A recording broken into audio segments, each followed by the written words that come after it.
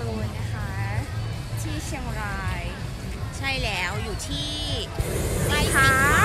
ใช่ค่ะ ปีนี้เขาก็จัดเป็นปีที่ 4 แล้วนะคะแดดค่อนข้างร้อนมากเนาะนี่คุณเตรียมชุดมาดีมากเลยนะคะ วันนี้ใช่แล้วค่ะ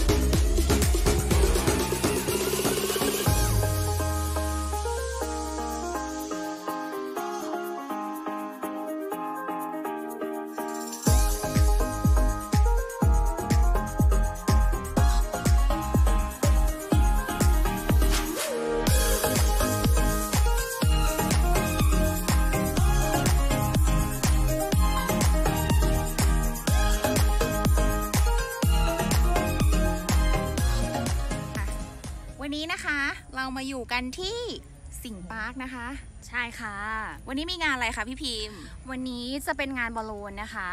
ครั้งนี้เนี่ยเขาจัดมาเป็นครั้งที่ 4 แล้วนะคะ ชื่องานของเขาก็คือสิงห์พาร์คเชียงราย International Balloon 2019 นะคะ ใช่แล้วสำหรับเราสองคนเนี่ย ปีนี้มาเป็นปีที่ 2 แล้ว ใช่ ปีที่ค่ะแล้วเราก็มา แล้วก็ปีนี้เนี่ย ก็มาซ้ำเพราะว่าติดใจค่ะ ใช่แล้วแล้วปีนี้เราก็เลยอยากจะมาแชร์ใช่จริงๆ เขาน่าจะจัดทุกปีเนาะเพราะว่าใช่ครั้งนี้ใช่เป็นครั้งทีสี่4 แล้วนะคะใช่เอ่อตอนที่เราปล่อยคลิปเนี้ยทุกคนอาจจะมาไม่ทันแล้วล่ะใช่ค่ะเพราะว่าเขามีถึงวันที่ 17 กุมภาพันธ์นี้นะคะใช่ก็เตรียมไว้ในปีหน้าก็แล้วกันนะคะ ก็จะมีที่ถ่ายรูปเยอะแยะเลยตอนนี้เราก็อยู่ตรงดงดอกคอสมอสนะคะและที่สำคัญนะคะงานเนี้ยเขามีการประกวด บอลลูนใช่กว่า เป็น 30 ชาติ ใช่ ก็จะมีบอลลูนหลายแบบ วันนี้เราก็เก็บภาพบอลลูนมาฝากมาฝากกันนะคะ มีทั้งหัวใจ มีทั้งรูปสัตว์ต่างๆ ในการ์ตูนแปลกๆสต่าวยงๆๆ ใช่ค่ะอะ